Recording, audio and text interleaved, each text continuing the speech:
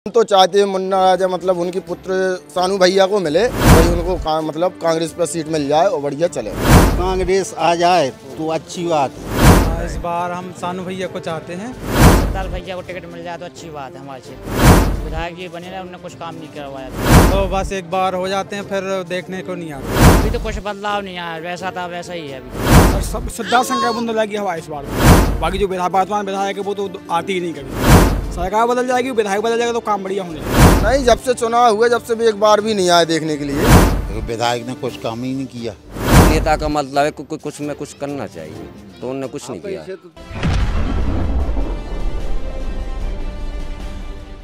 Peptic time Madhya Pradesh समाचार की team पहुँच चुकी है राजनगर विधानसभा क्षेत्र के दौरे पर।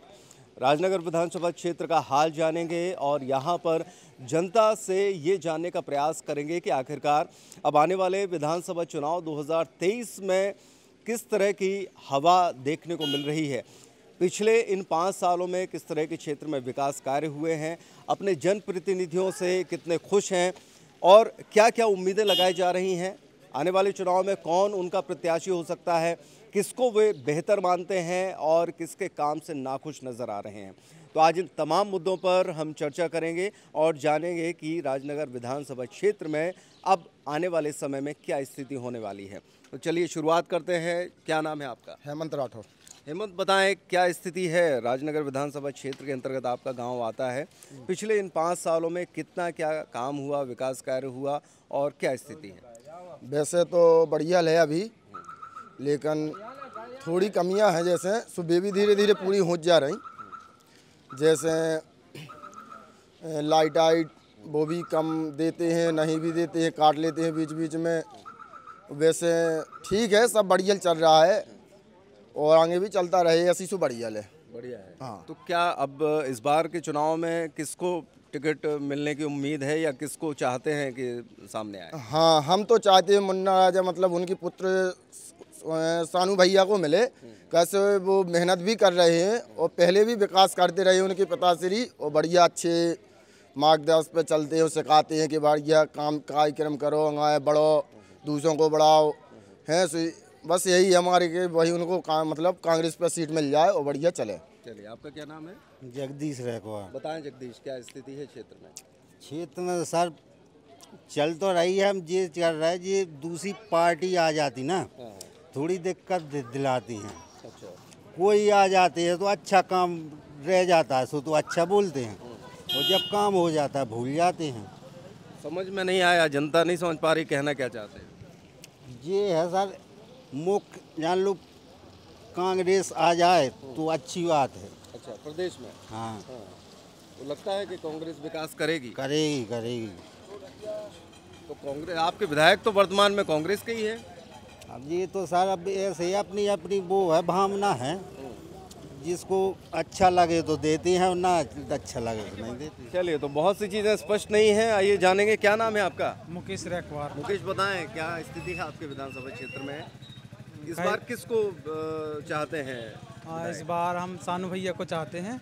और वो बहुत प्रयास कर रहे हैं उनके काम वगैरह जाते हैं उनके पास तो वो हो जाते हैं काम वगैरह। तो वर्तमान में जो विधायक हैं उनके द्वारा क्षेत्र में विकास कार्य कराए गए कि नहीं कराए गए? नहीं कराया गया उनके द्वारा वो मतलब आते हैं और बस एक बार हो जाते हैं फिर देखने को नहीं आते। अच्छा। जी। तो चलिए और कुछ लोग हमारे पास खड़े हैं। क्या नाम है आपका? कल्लू रेखवा है। कल्लू बताएँ क्या कंडीशन है आपके यहाँ की? है तो कंडीशन सही सर। क्या है कि चल रहा है चुनाव का टाइम अपने सरदार भैया को टिकट मिल जाए तो अच्छी बात है हमारे क्षेत्र में। क्योंकि कोई काम कराया था अभी विधायक जी बने रहे उन्होंने कुछ काम नहीं करवाया अभी। अच्छा। हाँ, क्योंकि विधानसभा है तो दो बार हमारे दादा खड़े हुए। अब हार गया वो पोजिशन है। तो विधायक जी पिछले तीन बार से लगातार हैं आपके क्षेत्र उसी के अंतर्गत आता है। तो अगर पिछले पंद्रह सालों के पहले की बात करें और अभी की बात करें तो कितना कुछ बदलाव आया है? अभी तो कुछ बदलाव नहीं आया वैसा था वैसा ही है अभी तो। कुछ भी नहीं बदला? कुछ भी नहीं बदला अभी तो। हम्म। जी आपका क्या नाम है? फिरोज खान सर। फिरोज बताएँ क्या कंडीशन है इस बार? क्या लग रहा है किसकी हवा है? सर सब सिद्धार्थ संख्या बंद लगी हवा इस बार तो। अच्छा। उन्हीं को टिकट मिल जाए तो बहुत बढ़िया रहेगा। हम्म, बाकी जो विधायक वर्तमान विधायक है वो तो आती ही नहीं कभी। हम्म, जीत जाते हैं और चले जाते बस। अच्छा। कोई विकास कार्य किया नहीं उन्होंने यहाँ पर। हम्म। और आते भी नहीं कभी ना कोई काम करते। तो क्या लग रहा है कि केवल विधायक बदलने से काम चल जाएगा या सरकार भी बदलना है? नहीं सरकार ही बदलना है सर। तो काम चल पाएगा। हाँ। भाई विधायक बदल ले सर कुछ नहीं होगा सरकार भी चाहिए। हाँ। सरकार बदल जाएगी विधायक बदल जाएगा तो काम बढ़िया होने लगेगा। तो इस सरकार के काम ठीक नहीं चल रहे नहीं कोई सही बढ़िया काम नहीं सर इसका। क्यों? सरकार वो कल सीएम आए थे बता रहे थे बहनों को इतना किसानों को इतना और तमाम चीज़ें उन्होंने गिनाई है आप कह रहे हो कुछ वो नहीं अपने क्षेत्र में ज़्यादा करते अपने वहाँ पर। सर यहाँ कांग्रेस का गढ़ माना जाता है तो यहाँ पे कोई काम रोज़गार का काम नहीं करते वो लोग। अच्छा। और ना उनकी कोई योजना यहाँ को लाभ मिल पाता। तो चलिए कांग्रेस की योजनाओं का लाभ कांग्रेस की सरकार या विधायक होने की वजह से लाभ नहीं मिलने की बात की जा रही है और सरकार बदलने की बात हो रही है। क्या नाम है दादा आपका? मेरा भगवान दास।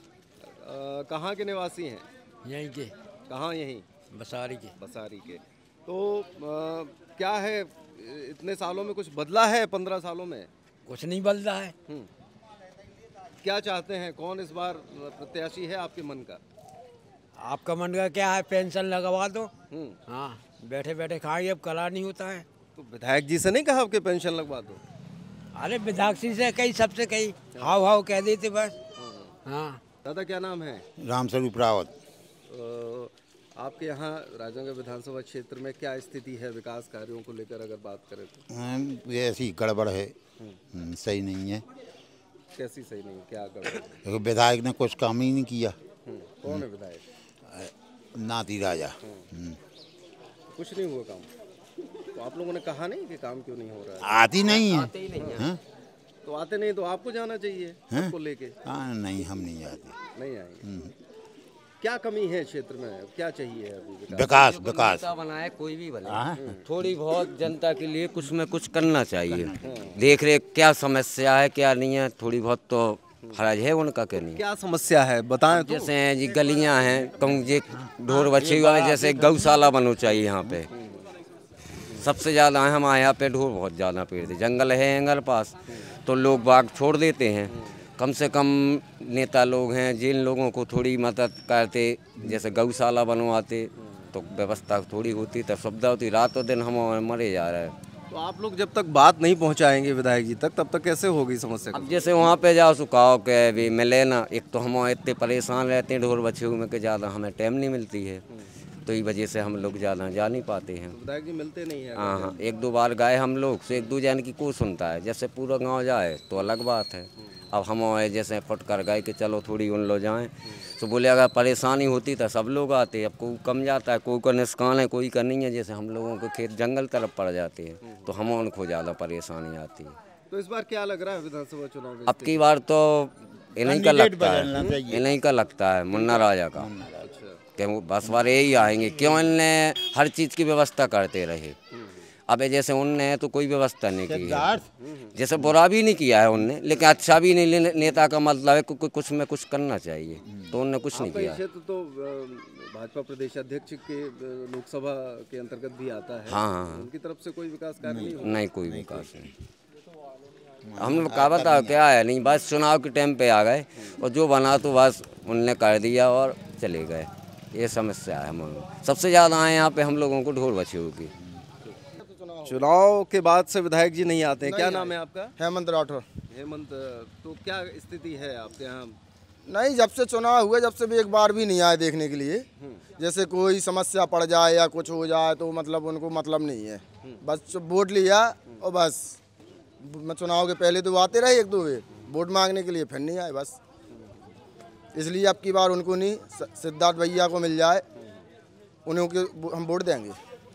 तो सिद्धार्थ शंकर बुंदेला का चूँकि ये कांग्रेस का गढ़ है पूर्व विधायक शंकर प्रताप सिंह बुंदेला का यहाँ पर निवास स्थान भी है और लगातार क्षेत्र में सक्रियता बनी हुई है और यही वजह है कि अब जो है सिद्धार्थ आगे बढ़कर लगातार फ़ील्ड में घूम रहे हैं और पूरी कोशिश ये की जा रही है कि इस बार कांग्रेस से टिकट उन्हें मिले। ये क्षेत्र चूँकि उन्हीं का है तो जनता लगातार यही चाहती है कि अगर उनको टिकट मिलता है और अगर वो जीत कर आते हैं तो क्षेत्र का विकास हो सकता है।